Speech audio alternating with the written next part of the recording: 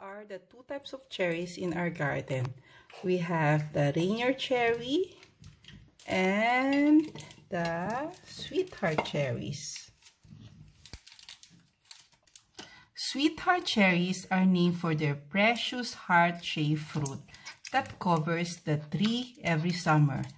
These bright red fruits are packed with flavor and as you bite into one, you will be overwhelmed with immense sweetness right away. Throughout a period of a few weeks, you will have ripe cherries awaiting you in your backyard.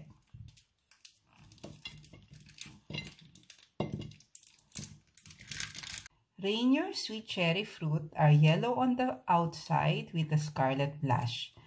The inner flesh is sweet and creamy white, giving it the name white cherry. Most gardeners agree that this is the best yellow cherry and some insist that Rainier is the best cherry of any color.